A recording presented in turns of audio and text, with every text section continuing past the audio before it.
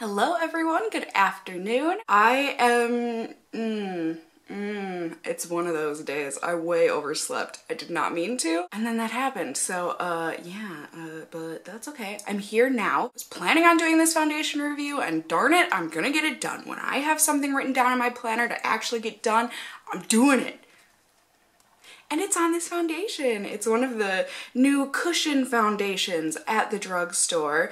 This is the one from Physicians Formula. It is their mineral wear talc-free all-in-one cushion foundation slash all-in-one ABC airbrushing, blurring, correcting with SPF 50 foundation. I got mine in the shade light much to my chagrin. These are so expensive. I found this at Target. It was $16.95 and most people it comes with like a $9 off rebate on here. Mine only came with a $3 off coupon.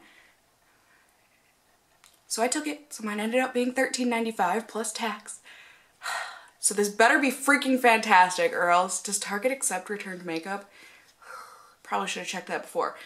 But Anyways, let's go ahead and go on to Physicians Formula's website to read about this to make sure I'm applying it correctly because I have never applied one of these cushion foundations before. Not any of the new American ones and not any of the original ones that have been out in like Korea and Japan and uh, lots of different places for many years now. So like I said, this is the new Mineral Wear Talc-Free All-in-One ABC Cushion Foundation with SPF of 50 got great reviews so far and it is $16.95. Similar to a lot of Physicians Formula foundations, I feel like. This only comes in three shades. There's a light, a light medium, and then a medium.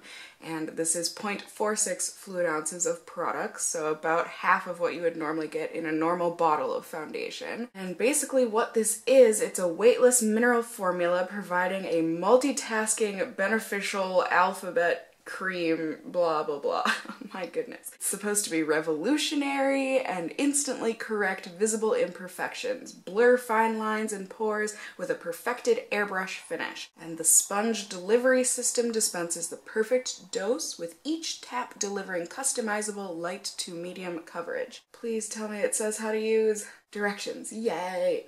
Apply pressure onto cushion with puff applicator to release the perfect dose of foundation for customizable light to medium coverage. Gently pat puff onto skin, flip cushion for extended foundation usage. All right, you guys, so tis the time. Let's do this. I can already tell you, I love the packaging. It's got like that softer than NARS finish to it on the cushion, which just, mm, I want to touch it, touch it, touch it all day. Anyways, ugh. All right, so this is very hard to get out of the package, but I will persevere. Oh, well, I doubt I can return it now. You know, they probably do that on purpose. they make it ultra impossible to get out of the box so that you rip the box so that you definitely can't return this. I feel like I'm birthing something. All right. Ew. It's really pretty. The blue on here, it's like a iridescent purple to blue to indigo type of I do think the compact is really cute, you know. It's like a little quilted cushion. As far as I know, we just pop, pop. There we go. So it's got the, um, the puff was stuck to the mirror. No worries, I figured that out. It's one of those like, like squeaky kind of a sponge, if you know what I mean. It's not one of the more fabric feeling, it's a more spongy feeling. Anyways, so it's got the little flap thing to, yep, keep this nice and moisturized. Peeling this off. Now, these have always intrigued me. I'm just really scared. I don't know, because it's new and I don't know how to use it and, you know, change is hard. But it's also exciting. So, let's see. Let's push on this together. Ooh. Okay, let's see how this looks swatched. Oh boy, this looks a little orange slash yellow. I hope this blends out nicely. It looks a little yellow for me.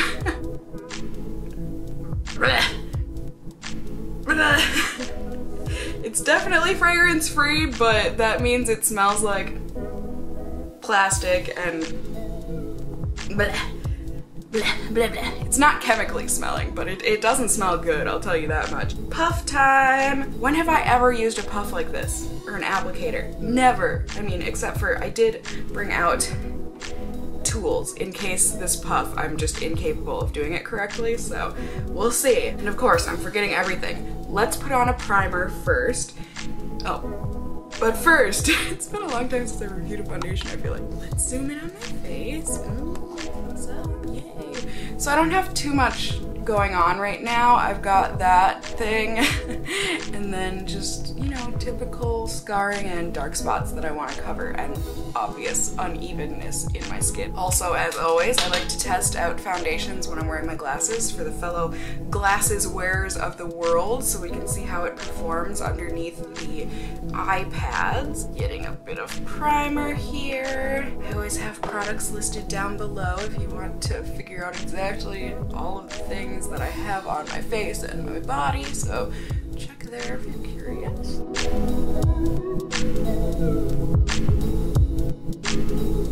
Primer is on, nice and tacky and ready for some cushion, for some pushing of the cushion. Ah, yeah. Okay, so we just push, push, up, up. okay, time to put this on my face. Oh, I'm scared go.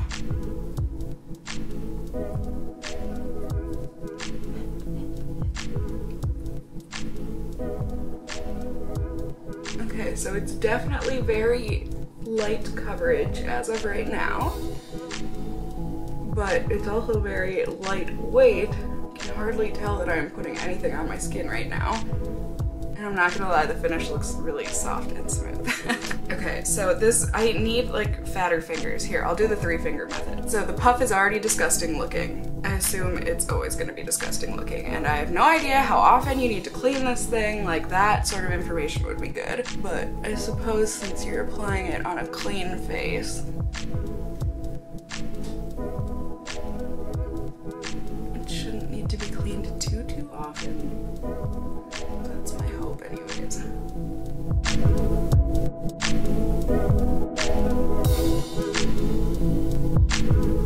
so there it is on this half of my face and this half has nothing on it. What do we think? Like I said, this is very, very sheer coverage as of right now, but thankfully my skin is clear enough where that's okay for me. Yeah, I do think it did a good job of evening things out.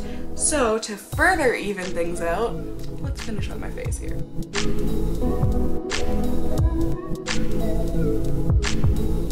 Alright, so there you go. There it is on all of my face here. I think overall it looks pretty good. Just for YouTube purposes, I guess I'm gonna see if building this up is a thing. So we're gonna go ahead and I haven't decided where I'm putting the second layer, but let's see, where do I need more coverage? Usually. Um, here, we'll do a little bit on my forehead here and then on my chin.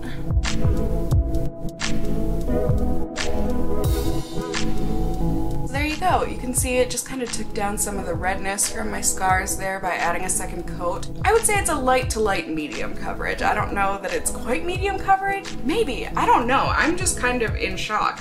This looks really pretty good. So yeah, I guess gonna close this tightly nice click so you know it's closed. I'm gonna put the sponge back in here, which that just worries me a lot, but click, yay! Here it is closer up. I mean, you can definitely see stuff still peeks through, but it looks really natural, like really satin skin-like, which kind of worries me because I am an oily skinned person. I don't want it slipping and sliding throughout the day, but it might.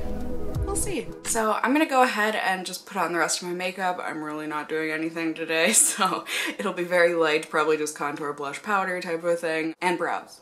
I can't go anywhere without my brows. But I will be back in just a second here on YouTube land so that we can see how it all looks when it all comes together. So I'll see you in just a second here.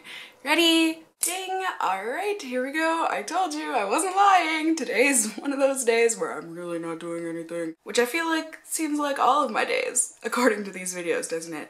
I run errands, I go to the post office, I go to my mom's to have dinner, I do cross stitch, and then I go to bed.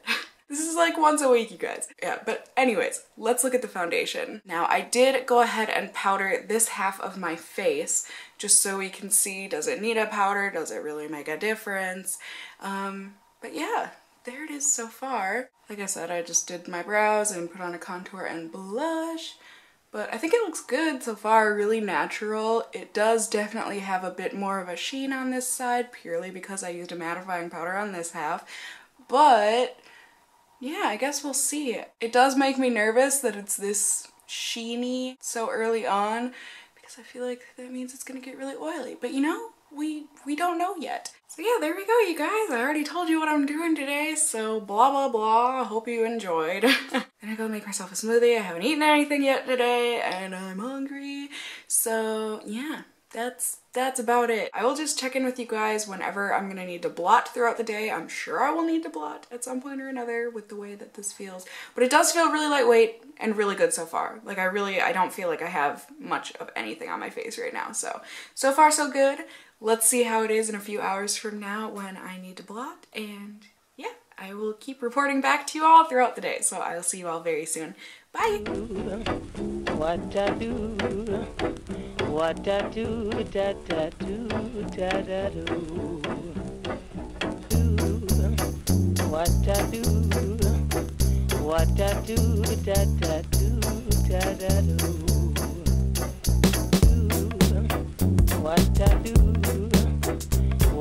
do, da da do, da da do.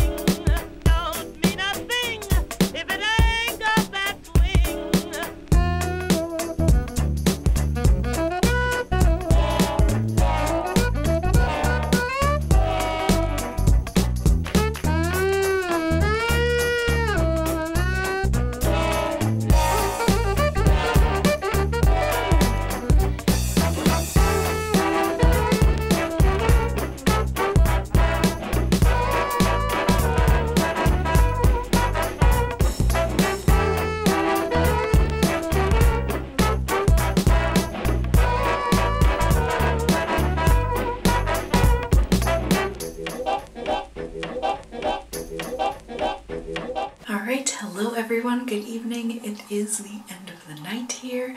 I look fantastic. It is currently 2.25 in the morning. I was not planning on staying up this late, but uh, sometimes you start editing a video and then you just...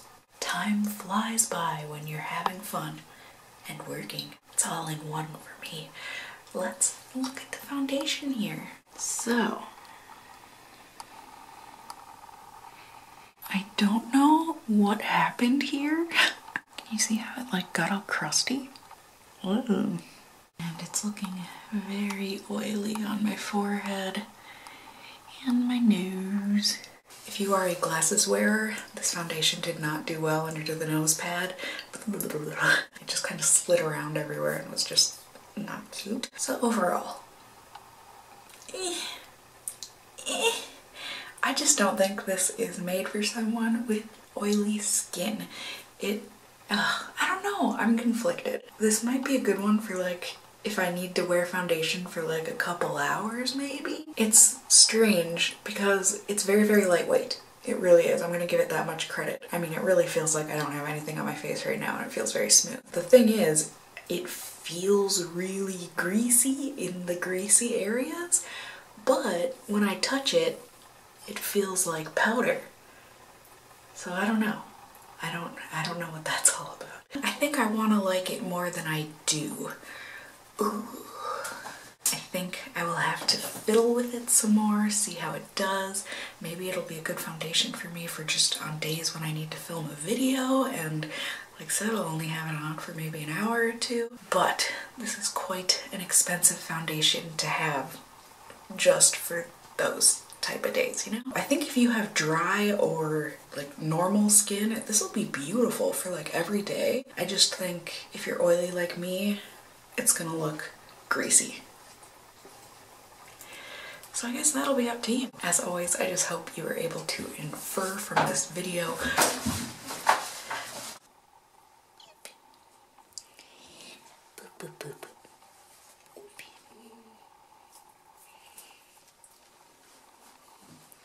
Hopefully you were able to see whether or not this foundation might be something you want to check out and try for yourself, or maybe you want to stay away from it. That's what these reviews are here for, and I hope that is what you got from it. If you did enjoy the video or found it helpful, I would love it if you gave me a thumbs up. Really, really appreciate it. And yeah, as always, I just hope you guys are all doing well. And until next time, just stay well until then. Bye.